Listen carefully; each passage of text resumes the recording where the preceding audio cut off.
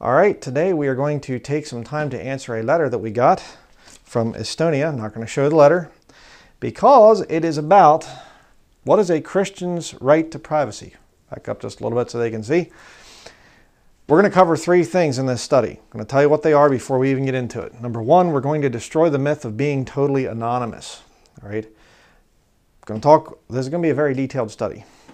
Number two, the importance of privacy. You can't be anonymous, online especially, but there is some things you can do to be private. Number three, what God can do for you spiritually on this issue, the issue of your right to privacy. Okay? Um, now, going back in here, you can put that letter down. Um, don't know if we're going to be using this thing much because we have a lot of notes that we wrote out here. But uh, just to give some quick little qualifications here for those who don't know, my wife was in was in military intelligence um, and the Navy, and uh, she has been a very she studied the, the issue a lot. Now I will say that her area of expertise ended in 2010 in the military. Professionally, yes. And then Fall acad- of 2010. Academia in summer of 2011. Okay, so a lot of what we're going to be saying might seem outdated to you if you're in the Silicon Valley tech world, whatever else. There, I'm sure there's new things that have come out. But the whole point is, once you understand the agenda there, the technology is more and more about invasion of privacy, getting more people's information. Why? Because it's about money. Mm-hmm. It's about getting that personal identification from people so that you can see, track what they're doing online, so that you can market. Tracking. Yeah, you can market to them and everything. Um, so I brought her into this study. There will be some scripture with this, but it's not an actual sermon. It's more of a answering a question. And my wife is much more the expert in this area than I am. Um, my background has been one of extreme resistance to technology, and the Lord brought me into this thing. Um, it's kind of, I gave the analogy, we were talking about this uh, over the last couple of weeks. I mean, this has been a big issue for us over the years. And I said, it's kind of like a farmer and he just wants to do his thing. He's got his crops figured out for the year. He's got the animals to feed. He does everything else. And all of a sudden, an, an invading army brings war to their village. And he has to look at things and say, okay, am I going to have to give up some things to join this fight? Yes. And but his end goal is to go back to the farm eventually. Well, that's kind of me. Um, when I first started in video ministry, I actually wasn't even showing my face. I showed my hands and my hands only um, early on. Then I did my channel initially was called Husky 394XP, and I wasn't saying my name at first. Then I started to say my name. Why? Well, the Lord kept showing me, you know, do a little bit more here, do a little bit more here. You say, well, then we can just forget about privacy, forget about. No, no, watch the video. Okay, this is going to be a very, very big video. And uh, we're going to say a lot of different things in this. But let's start out here. We're going to destroy the myth of being totally anonymous. All right, point number one. All right. Um, and we're going to show you what the Bible says about all this stuff too. Going to go over a lot of scriptures. Um, now, if you don't know, put it right on your books there.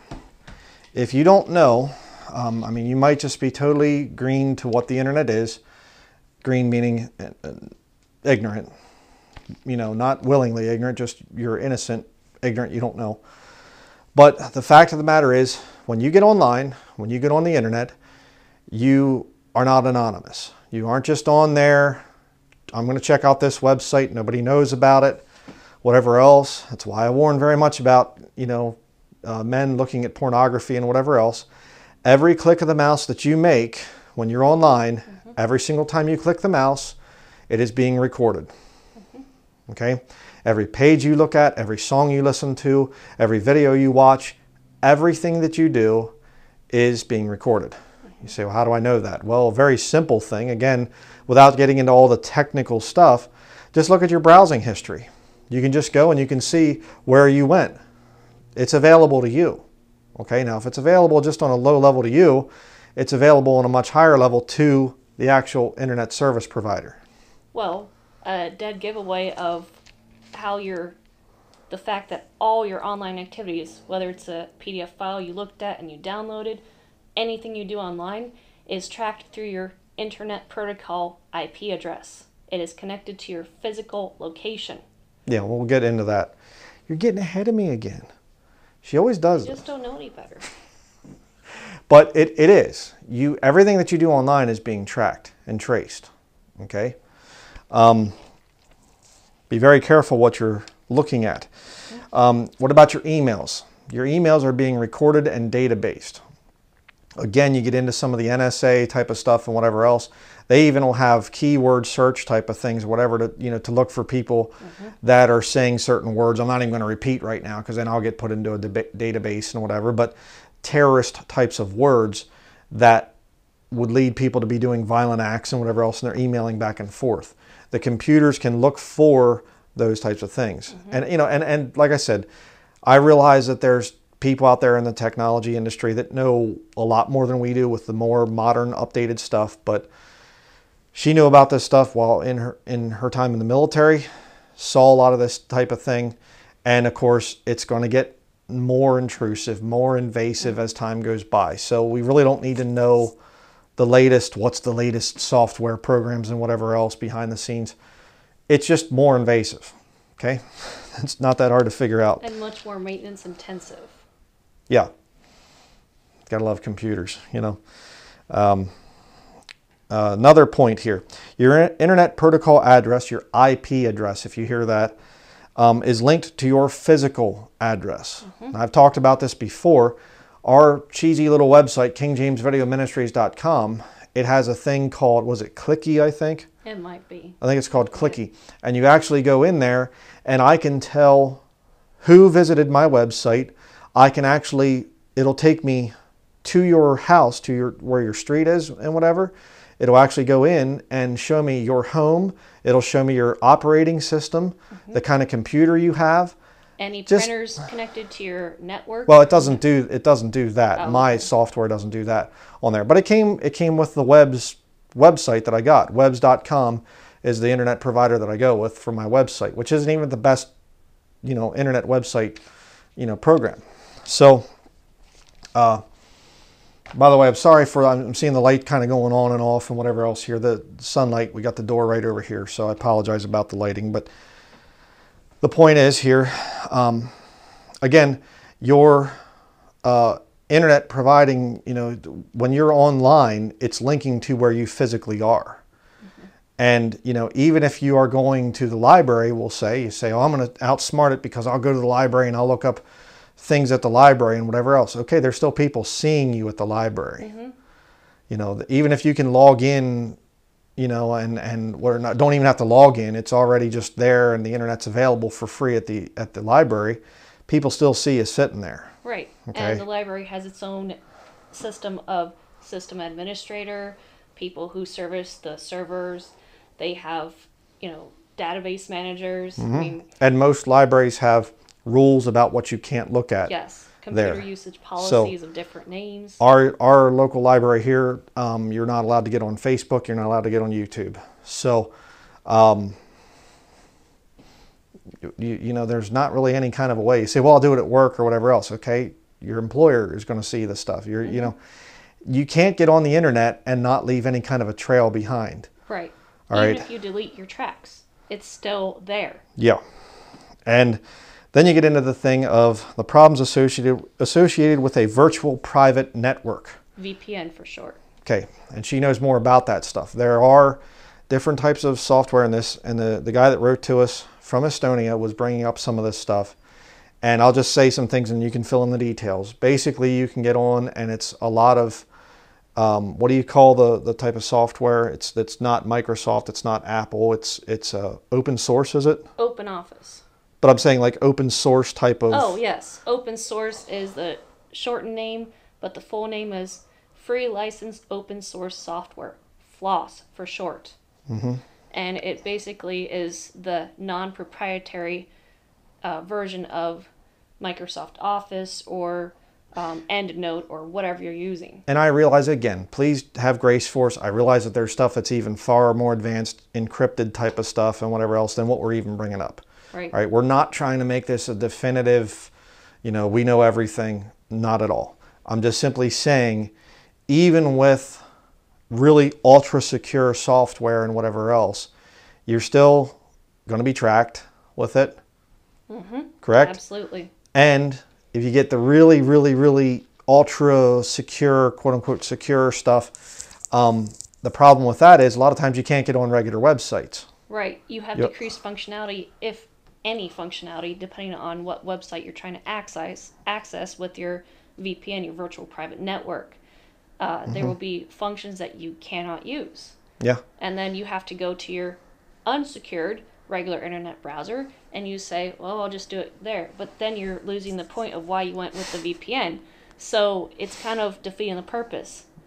They make it in a way that you can't do everything in a VPN that you can do with a regular unsecured internet browser. And I actually experimented with this for a few months after the Lord saved me, and I thought maybe I could go with the VPN.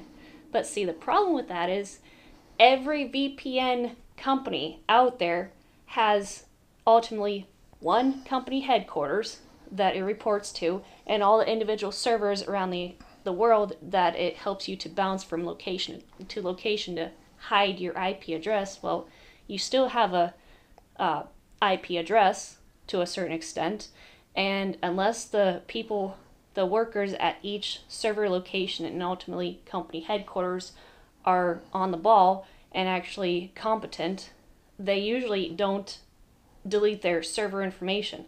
I tried that when I was deployed. I said, why don't we go into the server and we look for this thing that you're talking about? Oh no, we don't have the. You need a certain access, you need a certain clearance level in order to go into the server, which was gated in my tent, my work tent. And they said, you need to have a need to know and you need to have proper clearance level to even do that. And I thought, boy, talk about red tape. So there could be all sorts of stuff on the server that you say, I don't want that on the server permanent. But problem is, the workers really just don't care, you know, because there's so much red tape involved with deleting that stuff off the servers. So there's a lot of problems with a VPN that you think, oh, I can keep my private, my personally identifiable information private. Eh, to a certain extent, but it still goes back to the trustworthiness factor of the company that created the VPN that you're using. And you still have to create an account, or you have to give up some kind of personally identifiable information, PII in other terms, in order to use that VPN, to log in with the VPN, and then you have more requirements of how do I delete my internet history. I have to set my VPN browser to a certain uh, trait in order for it to close out and delete everything that you've used. But then you have the problem with long term cookies. Mm-hmm. So the whole point is you just go crazy after Yes. a while trying to keep up with the thing of, oh, I did, did I delete that? And I, oh, oh mm-hmm. nuts, this had to do, I got to go in here and redo this. And pretty soon you're just saying, why am I even using the internet again? Yes. You know, I mean, when we first got married, she put a bunch of stuff on my computer that would, that would, you know, go after uh, anything that was tracing or tracking things and whatever else. Mm-hmm. And there's so many times I'd go to check out a website, or I'd go to do something I needed to do, and it was, oh, this is blocked, or oh, oh and you got to, should you allow this or should you block this? Well, they're trying to access, and I'm just, okay, I can't, I, just got to check email or the weather or something here. Just stop. or you read an article that you say, I want to read up on the news about uh, whatever the subject is, you name it. And if you're using a VPN, it's especially problematic because it will say, it will literally give you a pop up message on your screen on top of the article and cover most of the article and say, We have noticed that you are using an ad blocker at minimum. Or they might say, We are we have noticed that you are using a virtual private network. And uh, in order for this site, in order for you to read this article, please disable your ad blocker or virtual private nec- network or whatever the case may be that you're using to keep yourself private or anonymous. You literally will be prohibited from reading that article unless you disable that function, which destroys your whole purpose of trying to keep private. And here's here's the point.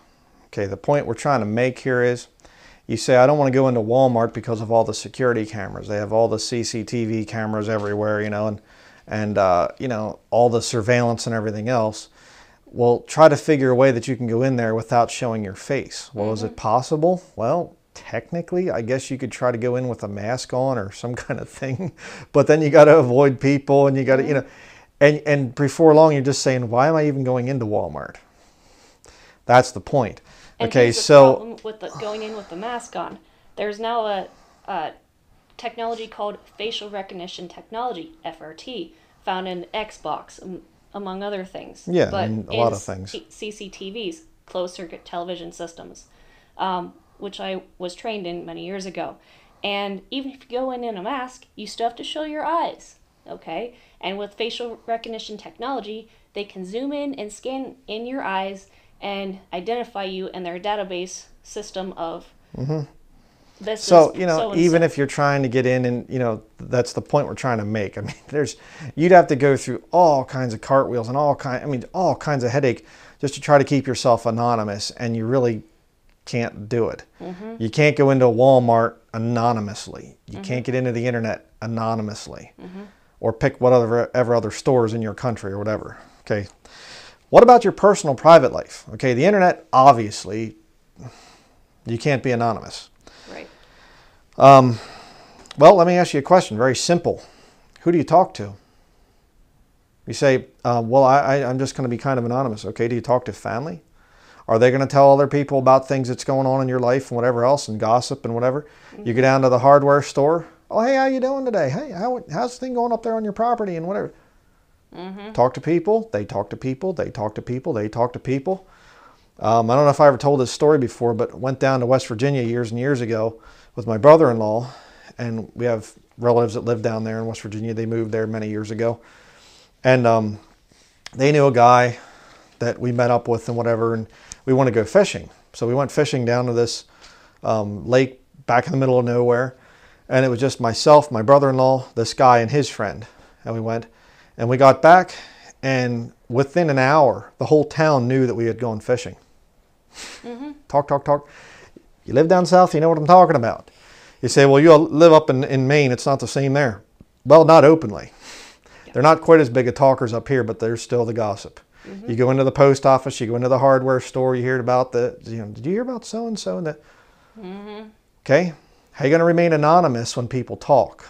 Or how Right. about the military? When I was deployed, um, there was, I was kind of hinted, somebody from administration and one hinted about uh, a possible challenge coin that was in the works for me doing a really good job and working hard, as they say.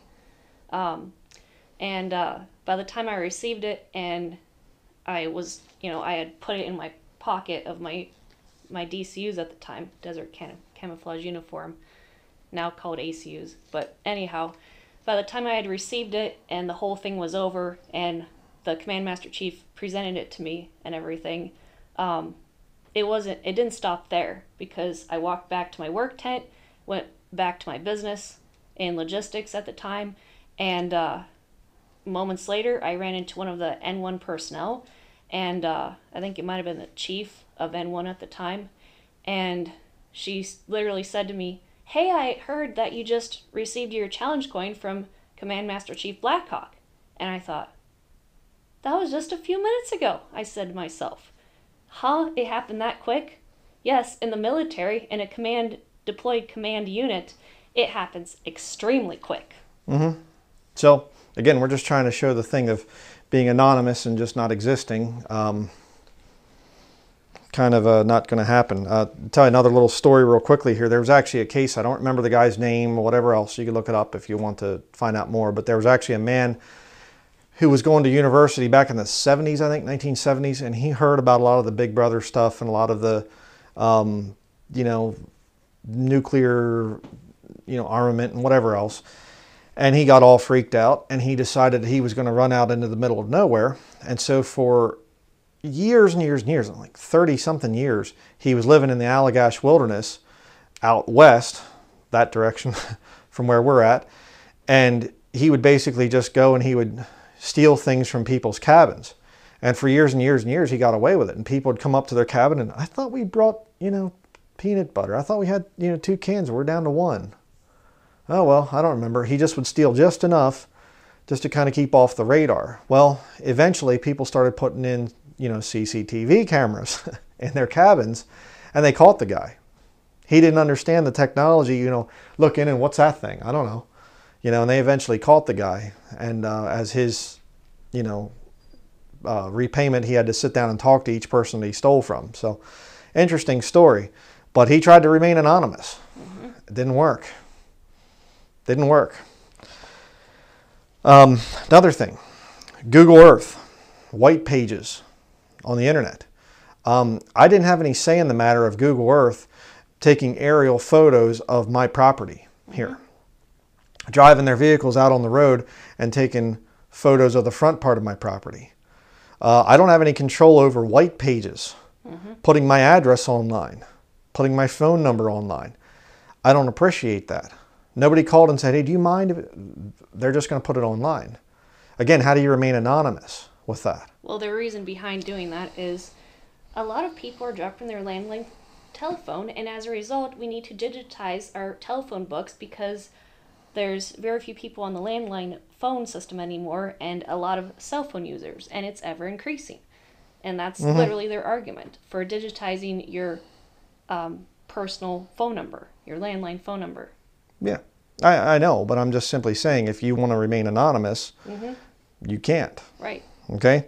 Um, and I have here the next point. Many of your private records are being digitized and posted to the internet, like we mm-hmm. just talked about, without your consent. Mm-hmm. Um, again, you know, we bought this property here, this land. We're on our property right now. And there is no physical address, or at least there wasn't when we bought it. I'm working on getting a physical address because of building here and whatever. But no time at all, the goons had already found it. Mm-hmm. The enemies of the ministry, the devil possessed little weirdos that, that stalk us like crazy they went in and, and they get court records and they get in whatever else and they do background checks and things and, and they get our personal information and they're spreading it around on the internet. Mm-hmm. And you think, how's this fair? Well, because you see, I want to remain anonymous. I didn't just put our address out there, but the court in this area and the lawyers and whoever else, they put our, our information online mm-hmm. and make it available to people. So how do you remain anonymous? Okay. Um, how about cell phones? We don't have a cell phone, but what about those of you that have cell phones? I mean, again, we're not going to show reports. We're not going to get into it. You just do your own research. You can be surveillanced through your cell phone, mm-hmm. even when they're turned off. They can still listen to what you're saying. Right. And you know, you oh, I have nothing to hide, so who cares? We're going to get into that later on. But you know, the whole point is you're carrying around something that can surveillance you in your back pocket. Yes. You know, not to mention the EMF fields it puts off, but that's another story that we aren't going to get into right now because we're talking about privacy right. here. And, and, you know. I have to say this if you are a victim of mind control programming, I'm talking uh, really, really uh, controlled programming, Hollywood type of, of stuff, or any other type of programming that you're under. Do not use a cell phone.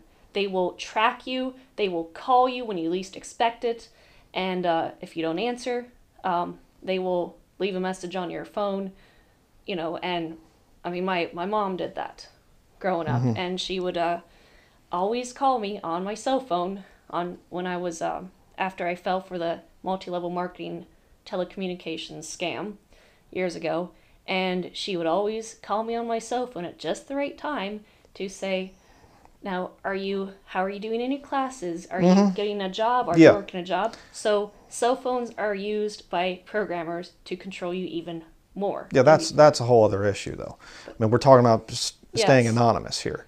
But you know, the, the, the thing of being tracked by over controlling parents and by, you know, employers and whatever else, you know, I mean, when I go out for walks out there, don't contact me.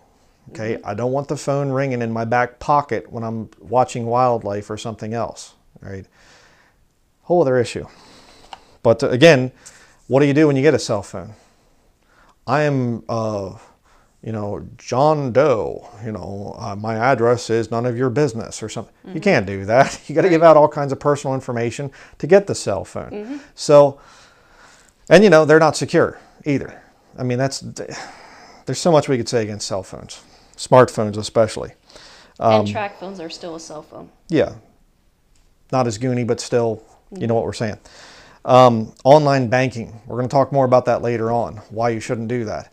But uh, people do online banking. Not good. No. Okay, how do you remain anonymous with online banking? People can hack into it and everything.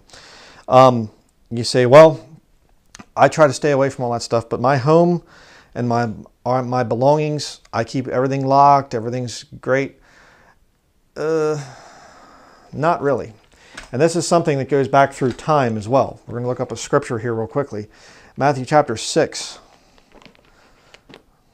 This isn't some kind of a modern, you know, only in modern times, you know, if we could if we could only go back into the past, we would be secure.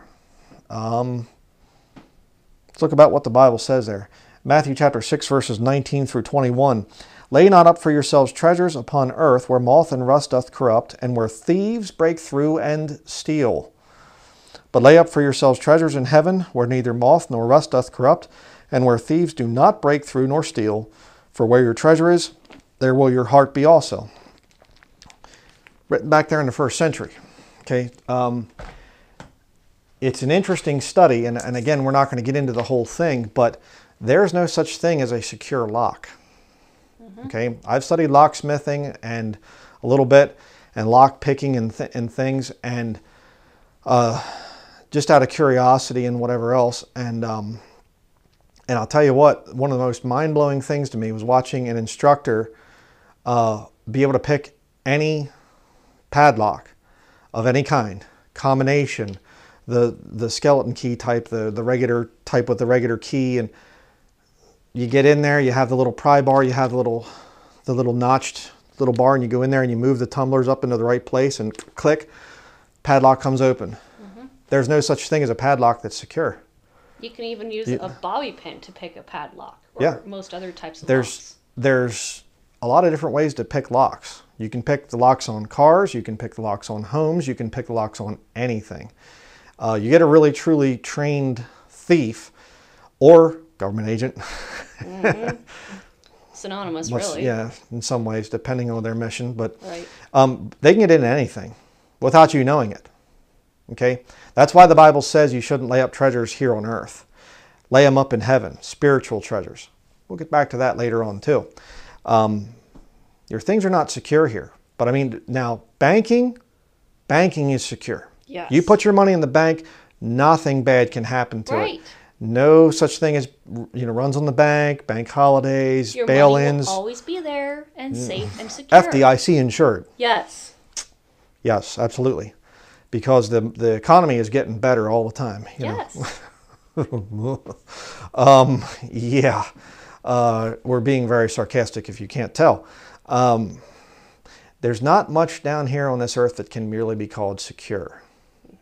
Okay, I mean, if you if you watch any of our secular stuff on the secular channel, the Northern Maine Off Grid, we actually had somebody walk right onto our, you know, private property, posted, no trespassing, purple posted paint, the whole thing, try to steal something from an old school bus that we have and it's just going to get worse as time goes by. So, uh, well, we're just going to have an anonymity, and we're not going to. People aren't going to know, and we're not just going. to We're just going to be bo- not bothered and left alone. That's not going to happen. Okay, and that's you know there are certain things here that are that are just modern inventions. The internet, I realize, cell phones, a lot of that stuff. Banking, you know, the modern banking system is fairly modern. Uh, well, that doesn't make sense. The banking system is fairly modern. I'll say it that way. Not too moderns, but um, you know, but it's always been the thieves can break through and steal things. Okay, so the spiritual is where we're going to be getting to at the end of the study. Um, what about a landowner? If you're a landowner, um, are there records with what you own? Yes. You say, well, I'm not. I'm a renter. Okay, and does your landlord know who you are? Yes. Does your landlord make records of you? Yes. what about mortgage? No records there. No, never. Um, You see what I'm saying here? Can you really be anonymous? No. Even a mortgage say- deed shows a lot of personally identifiable information. We've been, we went through the mortgage process a while back. We prayed about it. Maybe the Lord will have us, you know, maybe be okay with us. He wasn't, but you know, we don't have a mortgage on our property. It's paid for. We live debt free. But there's still records. Okay? But when we did the mortgage process, I mean, it is really intrusive. I mean, they, they ask you a lot of questions that I was not comfortable with. um, so you say, well, I, I live at home with my family. Okay, so I don't pay rent. I don't have a mortgage. I don't have my name on any kind of a deed, land deed, or whatever else. Okay, but you still live with your parents. Do your parents write you off on your taxes because the money's good? Um, Mine did. You know, uh, do your parents talk about you? Mine do. Are you seen with your parents? Are you seen coming in and out of the house? You see what I'm saying? To to live in a, in a just with being totally anonymous, nobody knows I exist. I'm just going to get away from the Big Brother system. Doesn't work. And you say, well, then I can just do whatever I want. We didn't say that either. There's going to be a lot of people that try to loophole this and say, well, because you can't be anonymous, then therefore we can just do whatever we want. We don't have to be have you know rights of privacy. Uh-uh. Don't get ahead of us. How about uh, property tax and income tax? Um, do you pay tax? No, I don't. Well, then you must not have any kind of income and must not live anywhere. okay. Um, and you know, I get tired of this. People say, "Well, you're not really free because you pay property tax." Okay, property tax goes to pay for services in the local area. right? it's not some kind of a thing where they just pocket the money and they're feudal lords and we have to pay property tax and they steal our property if we don't pay it. It's about road maintenance and things like that. Right? Public services. yeah. You use and- electricity at your uh, at your property, then you have to pay some somebody for that. If you use Right, the ambulance, that's a service provided by your local municipality. Mm-hmm. Therefore, that's one of the things your property tax goes for.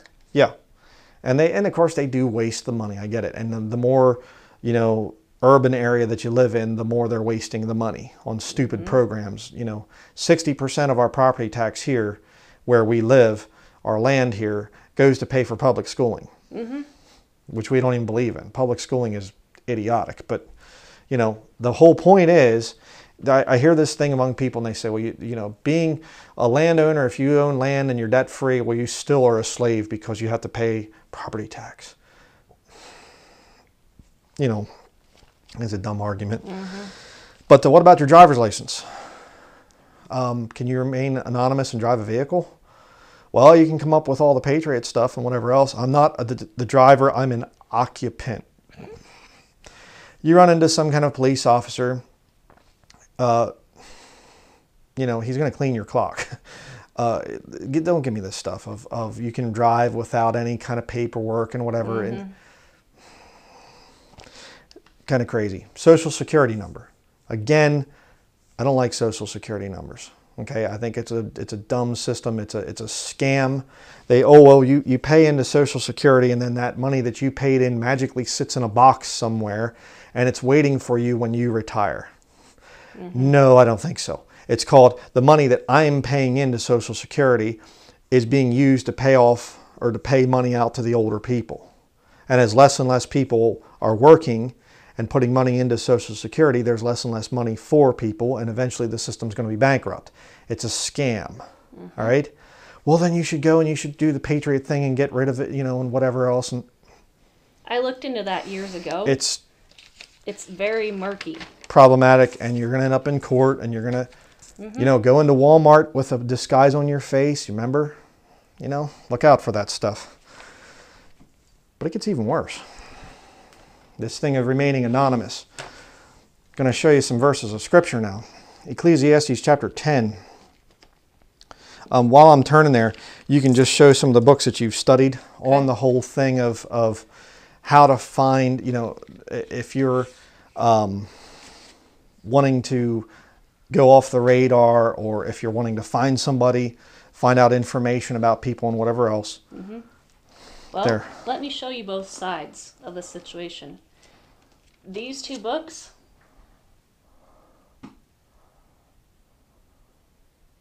this is a pen name of the author grant hall was a pen name and uh, this person i guess uses his initials but a legitimate name uh, i purchased both of these books after the lord saved me because i wanted to know um, s- both sides of the privacy issue and uh, since I studied private investigator course materials many years ago, um, it's been kind of a lifelong goal of mine to understand this issue. And here are just some of the, the topics behind these books. Okay? Um, I can't. Just just read some of it. We don't we don't get in a big thing on this whole deal. Um, well, this is just basically talking about the ins and outs of, of banking, how to have invisible home mortgages. Uh, it gets into um, estate planning. They don't say that word in the contents, but Nevada Limited Partnership, that's a tactic of estate planning. Paying bills privately, safe deposit boxes, a lot of stuff we've already covered.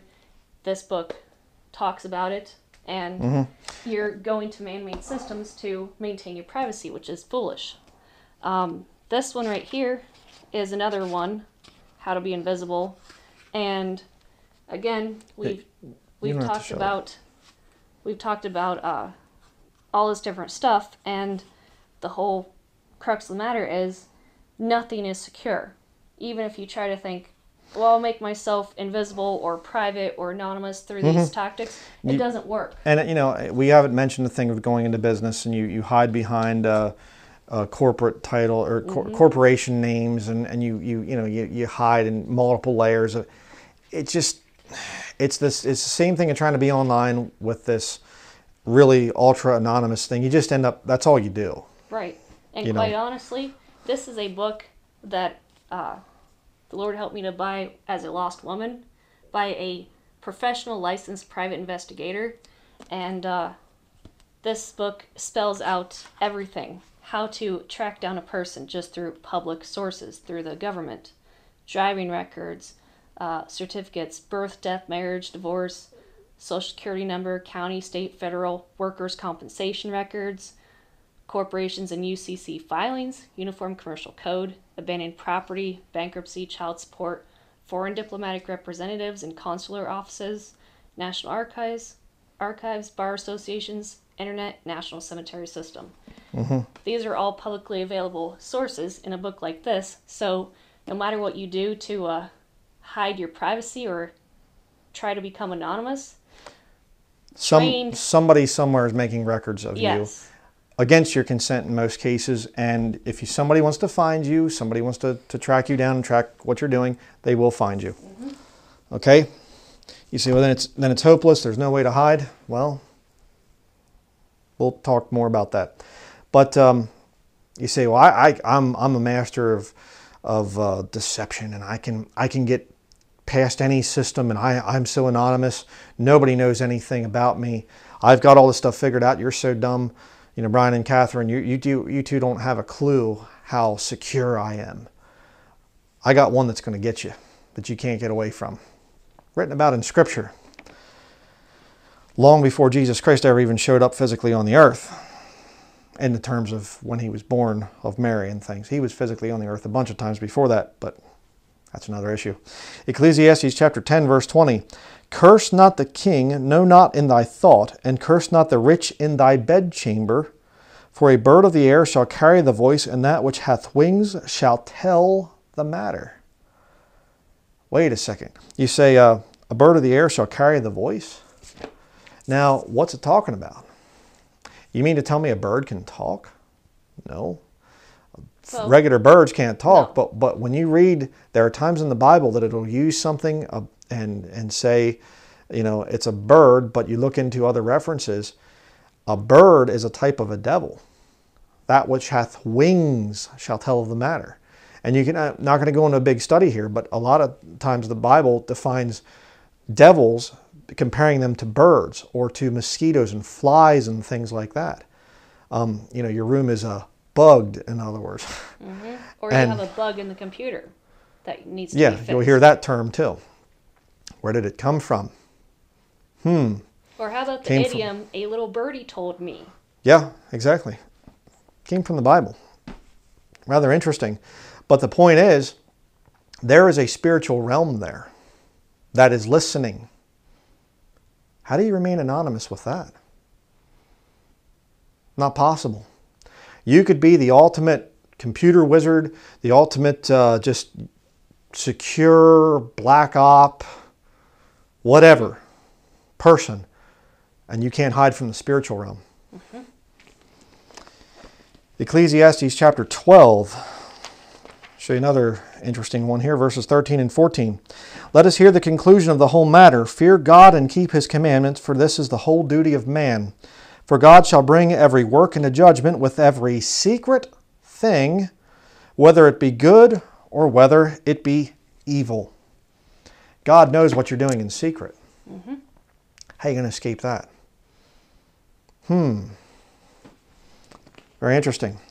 Jeremiah chapter 23. Go to the book of Jeremiah chapter 23. I mean, even if you can duck all the technology stuff, which we've already proved you can't, you can't duck this stuff, the spirit realm. Jeremiah chapter 23, verse 24. Can any hide himself in secret places that I shall not see him, saith the Lord? Do not I fill heaven and earth, saith the Lord? God's Holy Spirit is omnipresent, It's omniscient. He knows everything.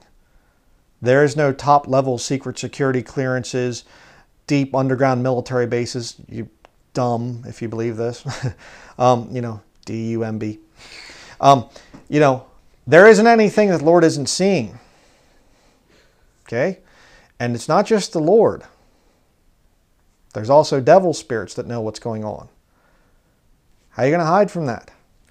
And I'll tell you right now, I can't tell you how many times we have had discussions between the two of us, mm-hmm. and we see our enemies doing things that are very much according to what we were talking about. Mm-hmm. I can't tell you how many times that has happened. I mean, we've lost count of that. Of what's going on? Well, the room is bugged. Spiritually. Okay? And we've had discussions out in the wilderness. Okay? Out in the woods walking around and things. So don't tell me, oh, they bugged your house in Bridgewater or something, your ministry office. Uh, wouldn't matter. We've had conversations all over the place, whatever, in areas that they couldn't possibly have bugged, couldn't possibly be listening in. Especially And- since we don't have a cell phone. Right. So they can't listen in that way. Yeah, and if they would use some kind of satellite thing, what they're not going to be tracking us. I mean, let give me a break. We're not that important. All right, but the spirit realm, the spirit realm knows what's going on. Yes, they certainly do. Oh well, I don't believe in that. You will someday, if you want wisdom, anyways. Um, but look at that verse. Verse 24 Can any hide himself in secret places that I shall not see him? saith the Lord. Do not I fill heaven and earth? saith the Lord. Um, what is one of the things that Satan likes to do? Satan tries to counterfeit God. Um, why do you think Satan is so interested in intelligence gathering? Because he's trying to imitate God. You get the devil, and, and he's got the NSA and the CIA and the FBI, and you get you know the alphabet soup type of deal and whatever. Alphabet City. Yeah. Yeah, and you get you know, yeah, soupy city. um, but you you know you get all these different you know what is it echelon and and all this different stuff. He's tracking every little single thing that you. Why the devil's trying to imitate God. Mm-hmm. You know, I mean, oh, but we got to we got to keep track of everything that people do. You know, we got to keep all your checks now. When you make write out checks through the bank, we got to make records of everything that you do. We got to make records of all your emails, all your phone calls, everything, to try and stop terrorism. And that they still can't stop terrorism. What's going on? It's a satanic counterfeit of what God does. Satan is using, he's a prince of the power of the air, he's using technology to try and imitate God. We have the mind of Christ, the Bible says. Okay? In the future, the mark of the beast, those people will have the mind of the Antichrist. They will think like him. They will lose their free will. And they will be electronically connected Mm-hmm. to Satan and the Antichrist. So it's not looking good for being anonymous. No. Okay? the more technology comes out, the less anonymity I, I always I'm nailing that word. It's- usually I have a hard time, but the the less of that that there's going to be. Okay, so they come out with Windows 12 or 13 or something like that.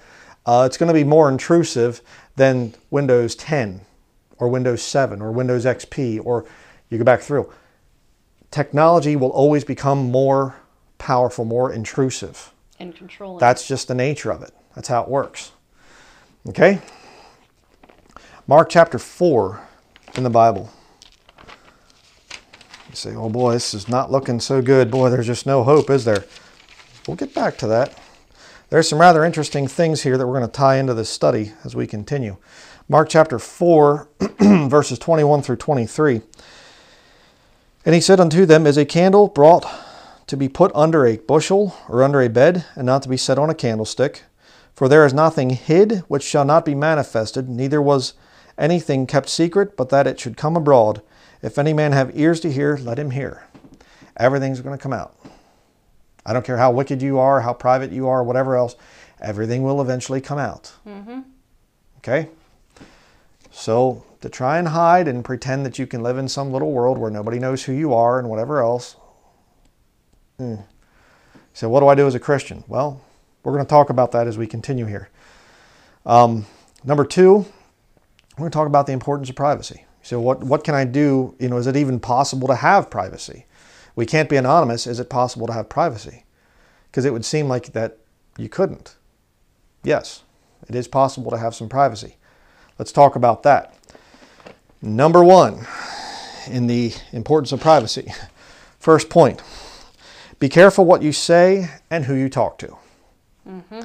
Okay? If there are people in your local town that can't keep their breath warm, yes. okay, uh, they just like to talk about everything and they come up and they say, oh, how you doing? You know, how you doing? So what, I heard something.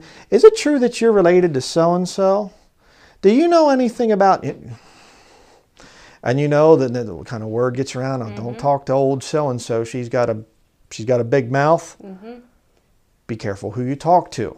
The telephone game, whatever you say can and will be twisted and used against you in a local town gossip fest known as a cackling hen house or Mm-hmm. cackling rooster house. Yeah, as long as it's not a ladies' fellowship group, because ladies ladies prayer hotlines that in churches and stuff, they don't gossip. It's all just about legitimate concerns and. yeah. don't make me vomit. Uh, be careful who you talk to. Okay. Um, you say, what do I do? Okay, somebody just comes up to me. Do I just be rude to them or whatever? Well, that is an option. Um, but there's something else that you can do. Um, witness to them. That usually ends it right there. Yes. Well, the Lord actually showed me this today. And you know, uh, do you know Jesus Christ is your Savior and whatever? Oh, well, uh, look at the time. I got to get going. you know, and if and you know, I'm not trying to say you just use the Lord as some kind of a way to turn people off. No, you know, because if they might actually be open to it, you could actually witness to them and convict them of the sin of gossip. So, but please be careful who you talk to. Yes. Um, Can I say this real quick? An infamous uh, idiom in the military is loose lips sink ships. Mm-hmm. Absolutely. Yeah. Yeah. Um, and of course, you know, a, a lot of this stuff about privacy, um, Christians have freedom still. Bible believing Christians still have some freedom, um, at least in America and a lot of the other countries that are watching these videos. But I know that there are some places that are a lot more controlled. And boy, you really have to be careful what you say in those countries. Okay, so again, it's going to vary from country to country, from situation to situation. How much should you talk? How much privacy do you have? How much does your government, that government, give the people? And we're going to see some examples of this as we continue. Um, number two, don't ask for advice from the wrong people. If you are interested at all in privacy, don't ask for advice from the wrong people. Okay, give you two examples. Government officials. Hey, would it be okay if I built such and such on my property? Uh, you know, obviously you're going to build a 2,500 square foot house or something. Well, don't try to do that, you know, privately or something. They're going to find out. Um, but if you're just going to build some small thing, a dog house, or don't ask their permission. Okay? Don't just go blab a bunch of things that you're doing on your land and whatever else. You want to put a garden in or, or get a, a dog. Do I need your permission to have a dog on my property? You know, be careful with that stuff. All right. Uh, there's a lot of things, you know. I had a, a Marine tell me the one time, uh, old friend I used to have, and he told me, he said they had a, a saying in the Marine Corps it's easier to ask forgiveness than it is to ask permission. Okay. If you're interested in privacy, if you don't care about your privacy, then just blab everything. Number two, doctors. Um, consult your doctor before you try, you know, taking herbs. Uh, consult your doctor before you, you know, eat a, a, you know, hamburger or something. You know, don't talk to doctors. Right. Okay. Um, doctors, I despise modern doctors. Just to be quite frank with you, I can't stand these guys. I, we're learning more and more as time goes by. My wife is getting, you know, more and more stuff. Get one of your books there. The, the, just get the top one there on the, the white one. Um, these doctors have access to the truth. They can't feign ignorance. Oh, I never heard of natural health and things. Physician's desk, desk reference, guide to drug interaction side effects and in- indications. I mean, that, they know that these pills are poisoning people. And they know Th- the natural remedies to get rid of the pharmaceutical pills. Yes. Whether it's prescription or it's in their books. Okay, mm-hmm. so don't give me this thing of my doctor just prescribed me, put me on all these drugs, and he doesn't know any better. He could know better. All right, they're just a lot of them are just too lazy and too interested in the little kickbacks from the pharmaceutical companies to tell you the truth. Mm-hmm. Okay, stay away from doctors. Doctors are idiots. Okay, sorry, but they are. Okay, get your health, get control of your own health. Take care of, of your own body. All right, you don't you know have to have people you know hopefully you don't have to have people come and help you go to the bathroom. Or if you're your if you're an invalid or whatever okay i'm not you're not included in that. But the whole thing is you know do google searches. I have high blood pressure. Okay what's a natural health cure for that? What foods should i should i be eating? Nutrition okay let medicine let your food be your medicine. Some guy said that. I don't remember who it was. Then let medicine be your food.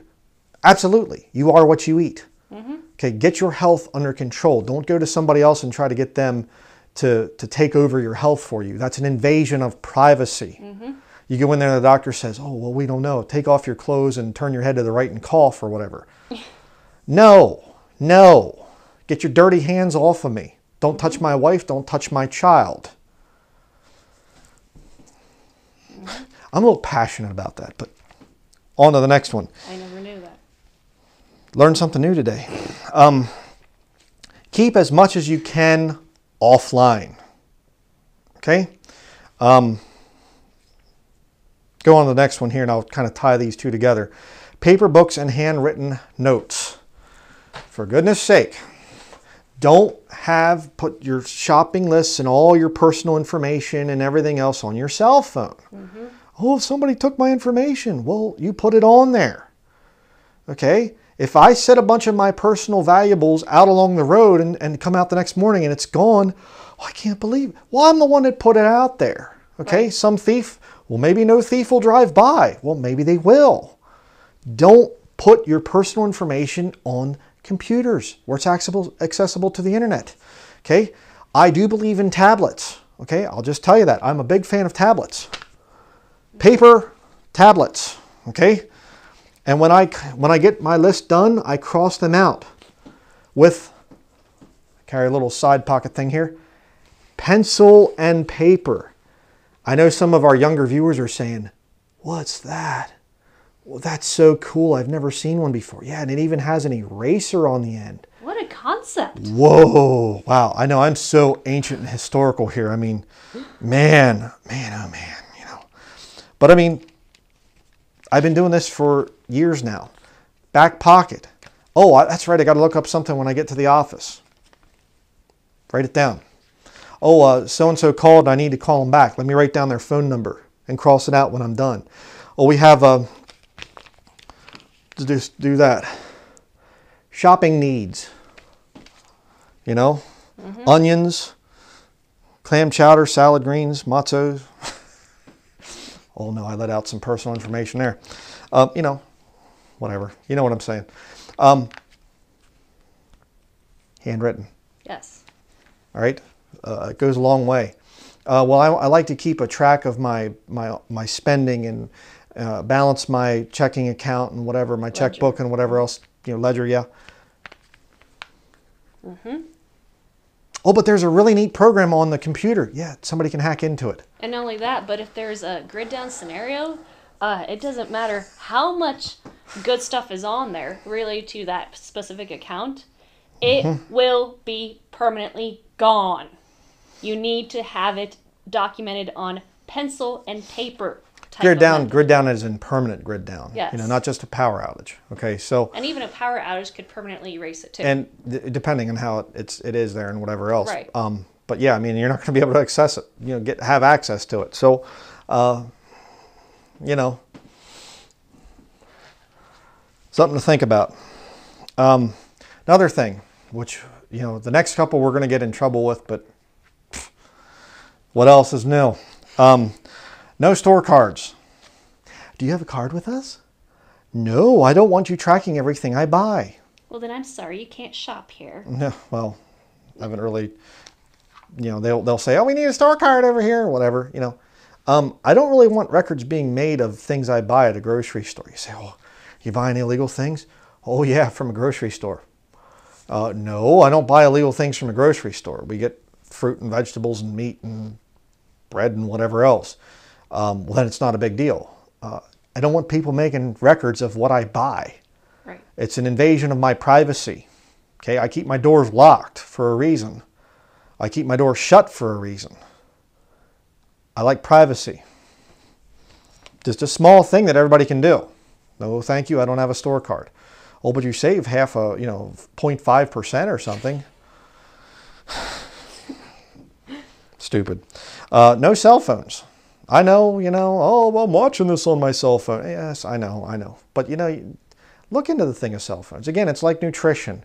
I can't sit here and tell you what you need to eat in your diet.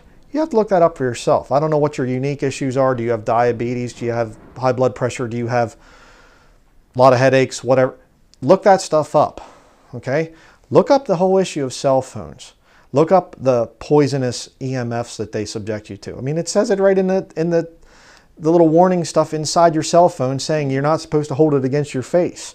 You're supposed to hold it, what is it, 10 inches, I think, away from your, your body? I forget. Something like that. A couple inches away from your body. But the tissues You know- in your face are extremely susceptible to absorbing that high level of radiation. It won't affect you the first time you use it, but Mm-hmm. Yeah. extend it out over a long period of time. Bioaccumulative.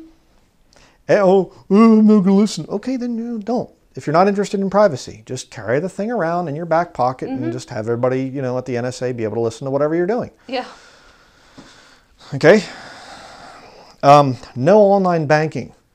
Please do not do online banking. Okay, that is really stupid. Right? With all the scamming and everything else that's going on, don't do banking online. You expose yourself to data theft much easier than just having the paper based version at through your mailbox. Yeah, and you have a right to this stuff. That's the whole point. What is a Christian's right to privacy? You have a right to not do online banking, to mm-hmm. have some privacy there. People shouldn't be looking and seeing what you have in the bank or stealing it. Mm-hmm. Again, you know, it used to be a thief would break through and steal in your home, and now you got online thieves. Mm-hmm. They can just break through and steal things online if you're just not careful.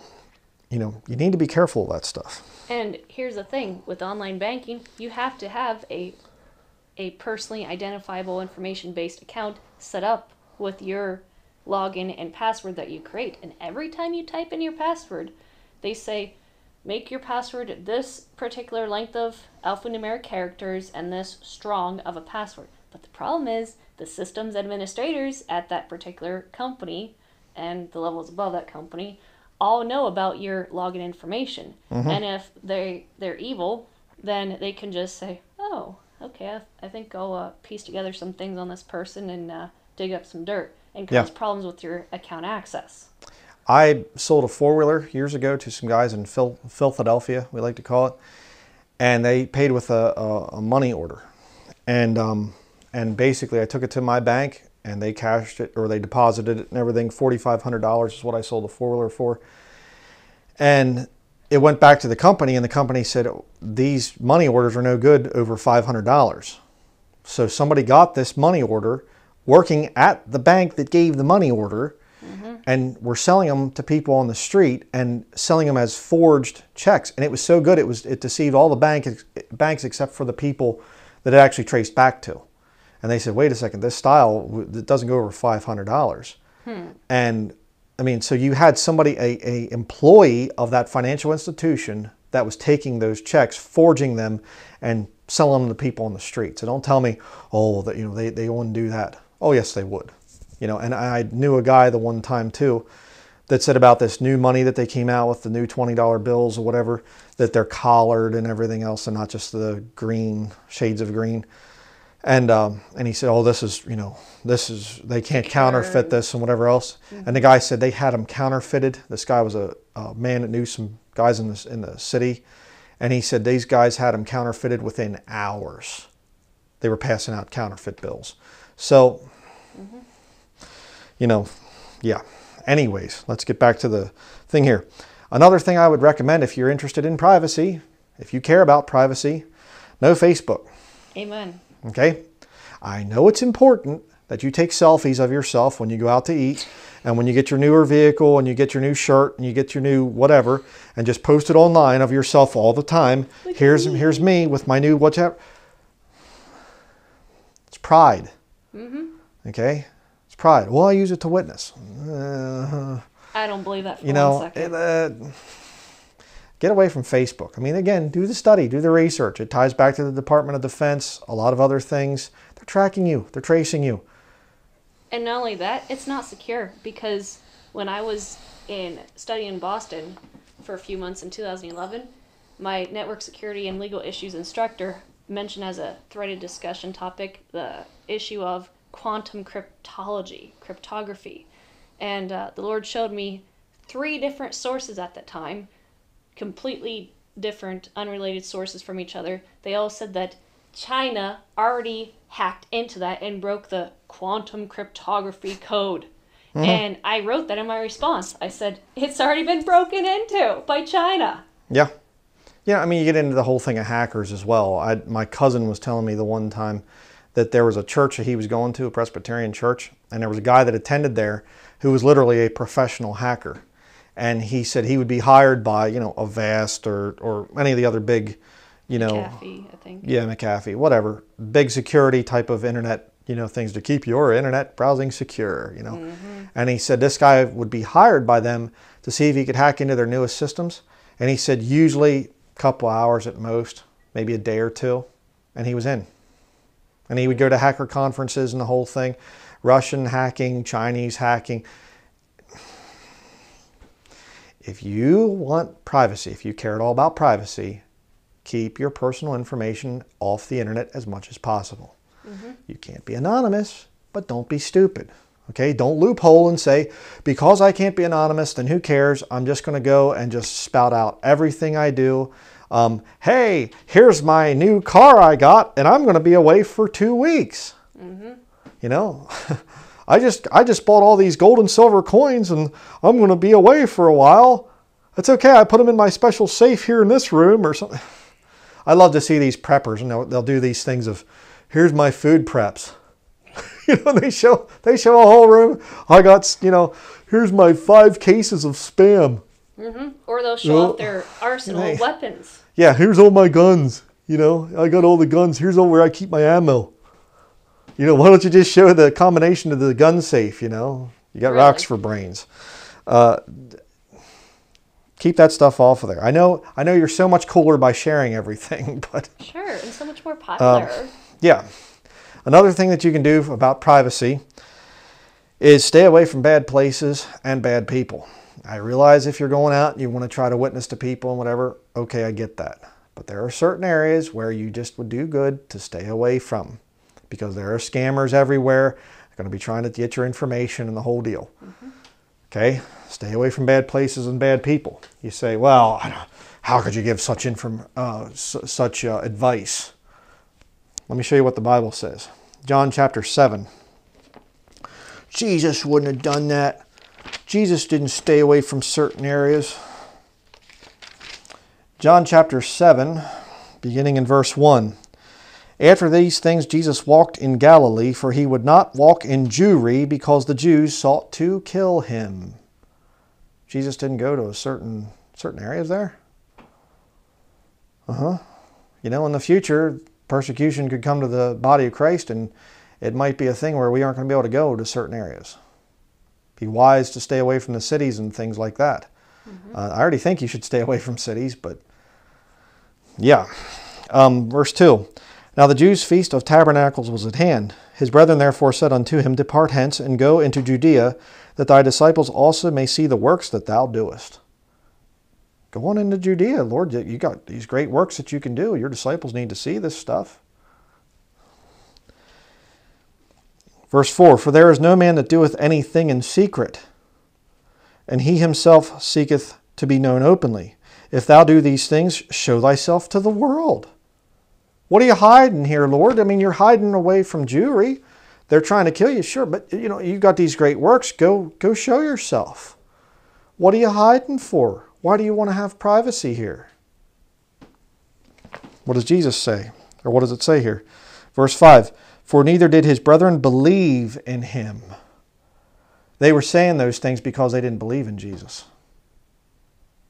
Hmm. So don't tell me, oh, that you know, you don't have any right to privacy. You don't have right to hide yourself from certain places and people and whatever. Yes, you do. Jesus did. Verse 6 Then Jesus said unto them, My time is not yet come, but your time is always ready. The world cannot hate you, but me it hateth, because I testify of it that the works thereof are evil.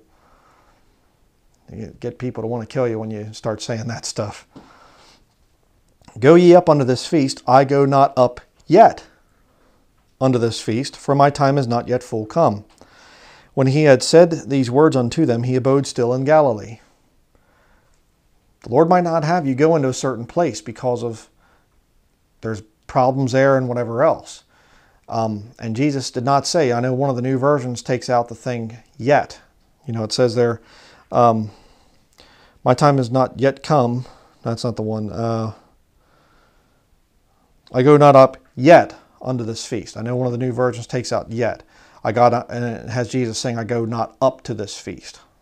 And then they you know calls him to be a liar because he does end up going up. Verse 10 But when his brethren were gone up, then went he up also up unto the feast, not openly, but as it were in secret. This is Jesus doing this. Hmm. Then the Jews sought him at the feast and said, Where is he? And there was much murmuring among the people concerning him, for some said, He is a good man, others said, Nay, but he deceiveth the people. Howbeit no man spake openly of him for fear of the Jews. See, the situation might be such that you can't just openly speak about things. But look at verse 14. Now, about the midst of the feast, Jesus went up into the temple and taught. And the Jews marveled, saying, How knoweth this man letters, having never learned? I always love that here's God manifest in the flesh, you know, and, and truth personified. And he doesn't have an education. What are his credentials? He's not registered. Yeah. Or certified. Jesus answered them and said, My doctrine is not mine, but his that sent me. If any man will do his will, he shall know of the doctrine, whether it be of God or whether I speak of myself. He that speaketh of himself seeketh his own glory, but he that seeketh his glory that sent him, the same is true, and no unrighteousness is in him. Did not Moses give you the law, and yet none of you keepeth the law? Why go ye about to kill me? Look at their reaction. The people answered and said, Thou hast a devil. Who goeth about to kill thee? you know? Oh boy, you gotta love that. example that would be you're paranoid. You think the whole world is out to get you. Yeah. You're being, you know, I, I come out and I say, other people persecute me. Nobody's persecuting you. Mm-hmm. We're just, you know, trying to destroy your ministry and infiltrating and trying to tear you down and, and put out your you know put out your you know doxing and all this stuff. But nobody's you're not being persecuted. You know they did it to jesus okay? And sometimes you have to be careful. Be careful not telling certain people. Okay there's people that i don't fully trust mm-hmm. that appear to be friends of the ministry. Um, some of you i love in the lord and whatever else. There's others you're not winning me over Okay? Unless I really get to know you good, I'm not going to share much personal information. I remember uh, Jeremy Carter, the traitor and fake that he was. One time we're talking, and uh, and he just out of the blue, just and he says, "So how many guns do you have?" What type of guns? How many guns you have? And I just thought, why are you asking me that? I said, uh, I don't talk about that stuff online. And his face turned beet red, and he said, "Oh, well, yeah, yeah, yeah. I, okay, I, you know, um, I don't trust very many people online. Amen. If you're real, if you're legitimate, okay, praise the Lord. I'll see you in heaven. We'll talk then. Okay, but uh, there's a lot of information you're just not going to get from me. All right. Um, I'm careful where I walk, if you know what I mean. Jesus taught me that. Next, go to John chapter 20.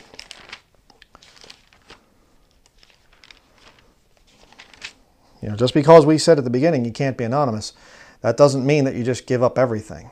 You just blab to anybody about anything. Be careful. John chapter 20, verse 19. Then the same day at evening, being the first day of the week, when the doors were shut, where the disciples were assembled for fear of the Jews, Jesus or came Jesus and stood in the midst and saith unto them, Peace be unto you. Wait a second. They're meeting in private? Hiding? Well, no, they should have had, you know, First Baptist Church, all are welcome on the sign there, you know. No. I mean, show me anywhere in Scripture where lost and saved are supposed to be worshiping the Lord together. Lost people are welcomed in. The only place is in uh, 1 Corinthians chapter 14, and it says about if, if any walk in that are you know an unbeliever or whatever else, and they see you all talking in tongues, they'll think that you're crazy. Paraphrasing there, we're not going to go to the place, but you can go to 1 Corinthians 14, see the exact wording. Um, the Bible doesn't say that we're supposed to be building buildings and inviting saved and lost to it. Right? And in a lot of countries, that's real dangerous to do. Right? You go to communist China and whatever else, uh, communist countries and things, you can't meet and just be open about everything and oh, this is what we're going to do. We're going to be printing. You know, are you coming to the Bible printing this weekend? Shh. Yeah. Quiet. Don't talk about that stuff. Right? Well, that's that's not the way it's supposed to be. As Christians, we're supposed to be out there. And you don't know too much, do you? They were meeting in secret. Mm-hmm. Jesus didn't go and walk in certain areas. Mm-hmm. Okay, until the time when, you know, he had his mission to fulfill there. You say, well, that's that's before, you know, well, the John 20 is after Jesus died on the cross, the death, burial, and resurrection. But let's look at Acts chapter 12. Acts chapter 12, verses 12 through 17. And when he had considered the thing, he came to the house of Mary, the mother of John, whose surname was Mark, where many were gathered together praying. And as Peter knocked at the door of the gate, a damsel came to hearken named Rhoda. And when she knew Peter's voice, she opened not the gate for gladness, but ran in and told how Peter stood before the gate. And they said unto her, Thou art mad. But she constantly affirmed that it was even so. Then said they, It is his angel. Kind of interesting. But Peter continued knocking, and when they had opened the door and saw him, they were astonished. But he, look at this, beckoning unto them with the hand to hold their peace, declared unto them how the Lord had brought him out of the prison. And he said, Go show these things unto James and to the brethren. And he departed and went into another place. Why not announce it? Put it out on the sign. Apostle Peter just got broken out of prison by the Lord. We're going to have a big meeting here. We're going to have you know, revival meetings. This is going to be. The Lord just busted me out of thing. I'm going to head over this way. Guys, get back to prayer. Your prayer meeting there, okay? See you. you know. Do you have a right to privacy as a Christian? Yes, you do. Yes, you absolutely do. Okay? So we're going to take a break here for a couple minutes, and I'm going to reset my camera so it doesn't keep doing this light, dark, light, dark thing. Apologize about that. Um, and then we'll come back and we'll cover the third part of this, which will be what God can do for you spiritually to keep you private and, and whatever else and do some other, other amazing things. So we're going to get back to the third part of the study here in just a few minutes. Uh, please check out the other video, part number three. okay, that's it.